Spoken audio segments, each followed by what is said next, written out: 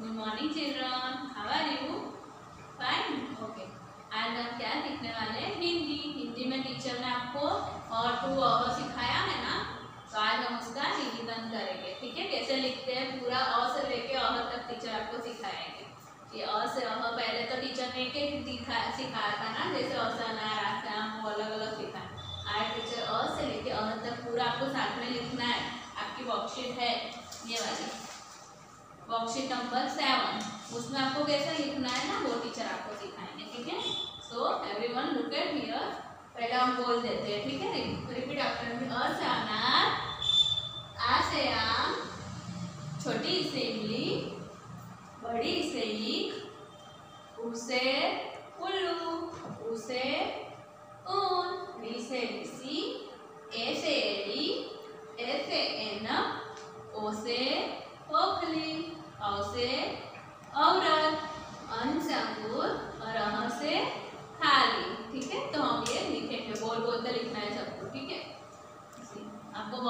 में one two three four line दी हुई है तो आपको स्टार्टिंग की जो थ्री लाइन होती है ना, ये रेड लाइन और ब्लू लाइन जो आपकी इंग्लिश बुक में वैसे। तो स्टार्टिंग की थ्री लाइन में ही लिखना है, ऐसे। से अनार, ठीक है? कैसे करेंगे?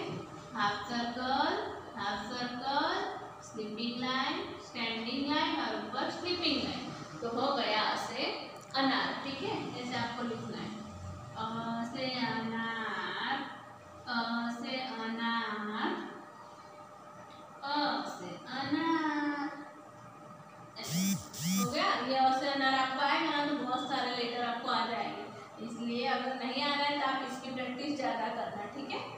अभी आम से आम तो उसके लिए हमें क्या करना है? पहले और से अनार लिखना है एंड देन एक और सेंडिंग लाइन बना दी तो हो गया से आम ओके हम पहले और से अनार लिखेंगे, और बाद में सेंडिंग लाइन तो हो गया से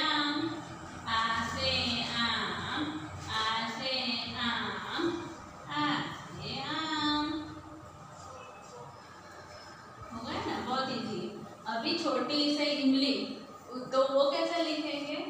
पहले स्लीपिंग लाइन फिर छोटी सी स्टैंडिंग लाइन फिर ऐसे आधा हाफ़ सर्कल फिर दूसरा हाफ़ सर्कल फिर यहाँ से ऐसे कुछ। ठीक है? तो बन गया छोटी से इमली।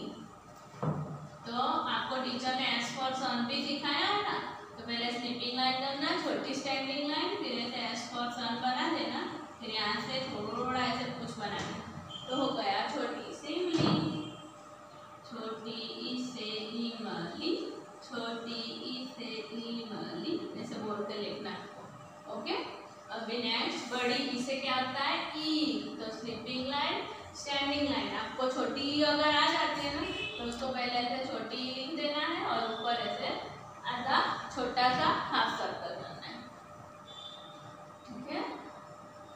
बड़ी ई से, ऐसे हाफ़ सर्कल करेंगे। बड़ी ई से ई बड़ी ई से ई बड़ी से ई हो? गया अभी उससे उल्लू तो बहुत इजी है, आपको थ्री नंबर लिखने आता है ना उसके जैसा ही है। देखो, पहले स्लीपिंग लाइन करनी है, फिर यहाँ से आधा गोल, फिर दूसरा आधा गोल और ऊपर तक लेके जाना है। हो गया। ऊ से उल्लू ब्लू लाइन तक लेके जाना है। आप लोग ऐसे थ्री नंबर लिखते हो ना तो उसके ऊपर स्लीपिंग लाइन करनी है और इसको थोड़ा बड़ा करना है। हो गया ना उससे उल्लू बहुत ईजी है। जिसको थ्री नंबर आता है ना, उसके मुँह से उल्लू अच्छे से आ जाए। ऊ से उल्लू ठीक है? फिर क्या है? बड़ा उसे वो कैसे लिखेंगे? सी। ऐसे स्लीपिंग लाइन करेंगे। पहले छोटा ऊ बनाएँगे, है ना? ये हो गया ना उससे उल्लू। फिर इसको यहाँ से बीच वाले स्लीपिंग लाइन में से ऐसे कर देंगे। तो हो गया बड़ा उसे ऊन तो ये भी बहुत ईजी है। बड़ा उसे ऊन बड़ा उसे ऊन ऐसे बोल के आपको लिखना है बड़ा उसे ऊन हो गया नाउ री से ऋषि अगर ये आपको नहीं आता है ना तो मम्मा आपको ऐसे दो डॉट देंगे तो सबसे पहले स्टैंडिंग लाइन करनी है फिर स्लैंटिंग लाइन और स्लैंटिंग लाइन ऐसे। उल्टा के बनाते हैं ना, हम K for kite K for kite इस साइड का होता है, हमें इसमें उल्टा के बनाना है, ठीक है? फिर क्या करना है, यहाँ से ऐसे करके ऐसे एस पर्सन कर देना है। अगर नहीं आता है तो ये वाला पार्ट आपको मम्मा हाथ पकड़ के लिखवा देगी। डोंट वरी आपको सिर्फ़ आधा ही लिख देना है, ठीक है? आधा आपको लिखना है कुछ ऐसे। बाद में आपको आ जाएगा री से ऋषि री से ऋषि री से ऋषि री से। ऋषि हो गया? नाम री से ऋषि के बाद क्या होता है? ऐसे एडी तो ऐसे एडी भी बहुत इजी है, देखो ऐसे स्टैंडिंग लाइन की हमने, फिर थोड़ी स्टैंडिंग लाइन फिर हम और जोकर जैसे करते हैं ना, वैसे, छोटा सा जेब और ऊपर स्लीपिंग हो गया ना? ऐसे AD standing line slanting line and small जेब तो हो गया AD standing line slanting line small J ऐसे एडी ऐसे एडी हो गया. ये भी बहुत ही अभी ऐसे एडी आपको लिखने आ जाएगा तो ऐसे ऑटोमेटिक आ जाएगा.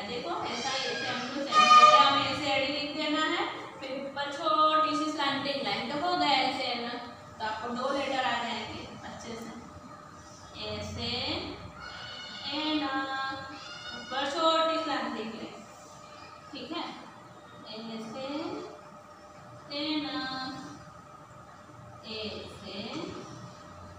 एना हो गया? अभी फिर से ओ से ओखली में हम क्या करने वाले पता है? फिर से हम अ से अनार लिखेंगे। ठीक। सबसे पहले हमने अ से अनार लिखा फिर उसके बाद में लीटी कर दी तो क्या बन गया? लाइन बनाई तो आ से आम। अभी ऊपर स्लिपिंग लाइन आ से आम करने के बाद ऊपर छोटी सी स्लैंटिंग लाइन जैसे हमने ऐसे एडी में की थी, वैसी स्लैंटिंग लाइन तो हो गया ओ से ओखली ठीक है? इस वेरी इजी आप ध्यान से करोगे ना तो आपको आ जाएगा। ओ से ओखली ओ से ओखली ऐसे बोल के आपको लिखना है। ओ से ओ से ओखली हो गया अभी औसा औरत इसके जैसा ही है? ओ से ओखली आपको आ गया तो औसा औरत इजीली आ जाए हम सबसे पहले ओ से ओखली कर दिया, ऐसे, फिर ऊपर एक स्लांटिंग लाइन तो हो गया औसा औरत हुआ ना? औ से औरत ऊपर दो स्लैंटिंग लाइन होती है ना तो वो औ से औरत हो गया औ से औरत औ से औरत औ से औरत औ से औरत इजी है ना आप लोग अच्छे से लिखना खुद ही ट्राई करना, फिर मम्मा को बोलना करना है। अभी अंश से अंगूर उसमें भी हमें क्या करना है पहले? अ से अनार लिखना है, ऐसे, और ऊपर सिर्फ़ एक डॉट तो हो गया से अंगूर। ठीक है? इजी है, देखो।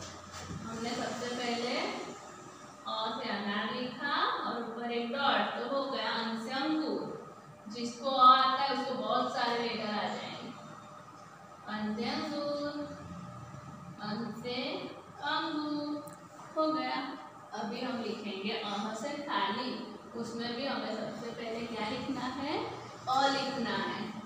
और बाजू में दो डॉट करेंगे तो हो जाएगा अह से खाली उसके बाजू में करना है, ऊपर नहीं करना है, यहाँ पे। हो गया ना? अह से खाली अह से खाली